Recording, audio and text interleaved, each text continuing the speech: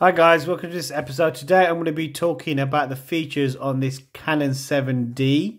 Um, so I'm shooting in manual mode. Well, I'm demonstrating, shall I say, in manual mode. I'm going to switch the camera on. So let's switch it on. Let's go, it's on.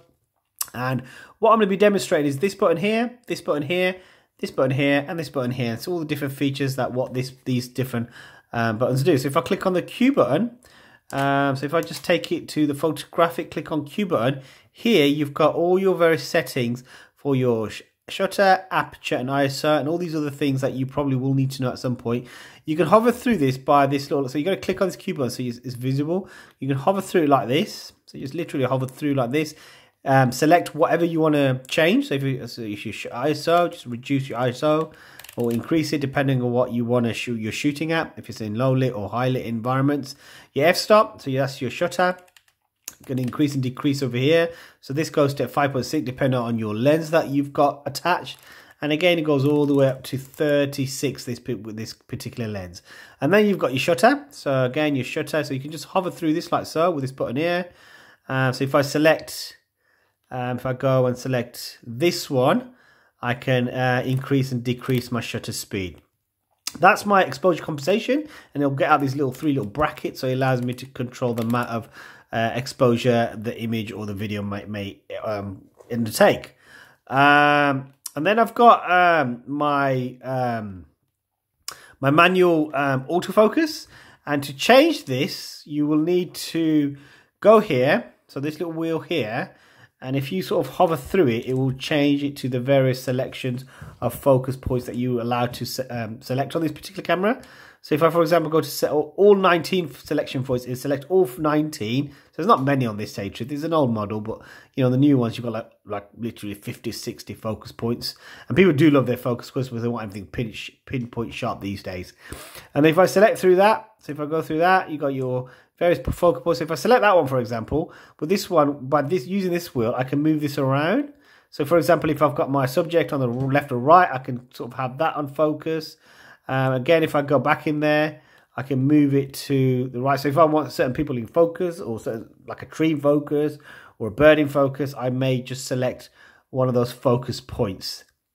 So useful.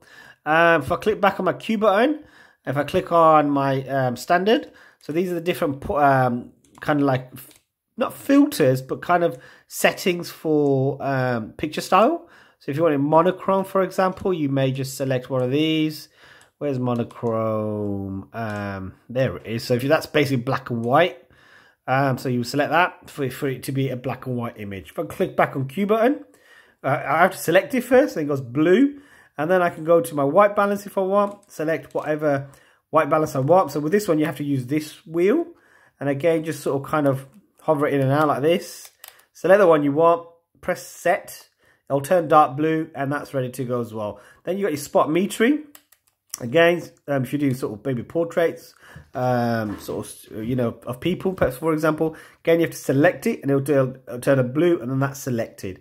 Um, then you've got your file sizes over here. So if I select that one, oh, I'm going a bit too quick there. So if I select that, oh, got a bit too quick again. Select that one. And this one is all your file sizes. So again, you can sort of just hover through these. So I don't want raw, so I'm not doing studio work. Go to my other file, the um, other file types. I've got small, tells you the file size.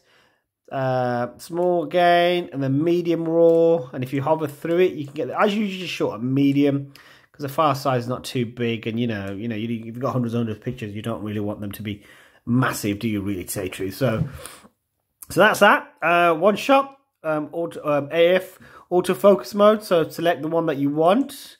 Uh, AI, A, A, AI focus, AI Servo, or one shot. So I usually leave it on one shot.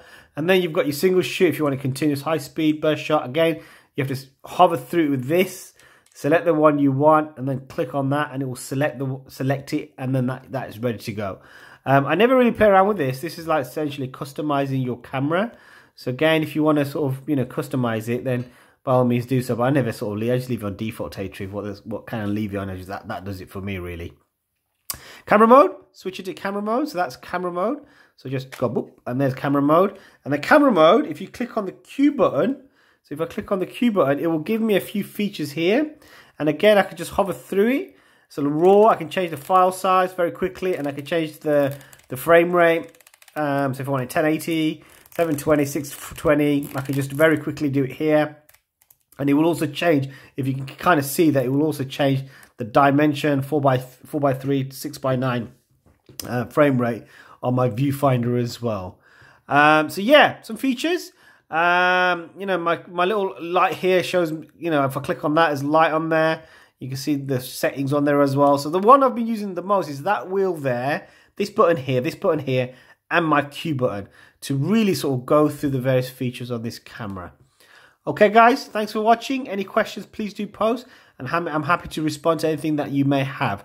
Thanks for watching, guys. See you later. Bye-bye.